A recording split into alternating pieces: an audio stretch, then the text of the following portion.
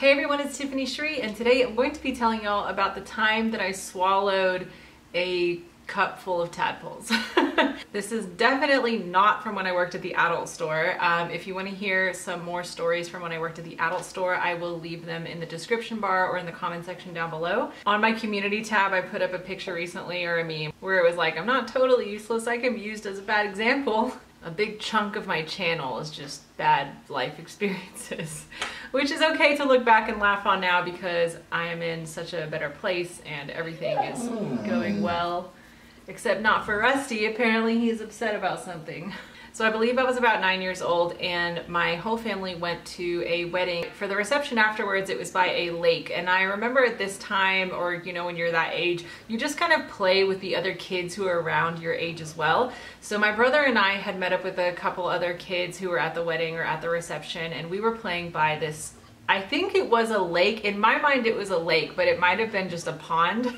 For all the drinks at reception, they had those red plastic cups. So my brother and I and these kids had gotten a bunch of these red plastic cups and what we started doing was collecting all these tadpoles that we were finding in the water. So I was super proud of myself because I had a pretty big amount of tadpoles in my cup. Even though there was a lot of like dirty lake water that was pretty brown, you could still look in and see all your tadpoles. So the food was being served, so my family called my brother and I back to where my family was sitting and I remember we were along these like long benches or long tables with benches on either side. For my actual drink, I had a Sprite in that same kind of red plastic cup.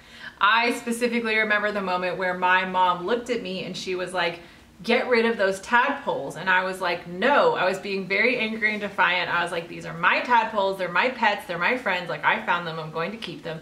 And she said, well, move them away from the food and your drink. And I was like, no, so we're eating, I'm drinking my Sprite, we're eating, I'm drinking my Sprite, we're eating, and then I go to take a drink of my Sprite and I feel like this thickness just go down my throat. Like I distinctly remember just feeling like thick. I look in the cup, like while I'm still drinking, I look forward and all I see is that dirty, brown, muggy lake water. So I've already taken a couple like good gulps and swallows at this point. I realize what's happened and I try to like spit it out and I try to like spit back in my cup and then I turn around and I try to spit back out. I remember all these like elderly people were looking at me like I was crazy, but I kept spitting and nothing came out because I had already swallowed them. And I remember looking back in the cup and all the tadpoles were pretty much gone.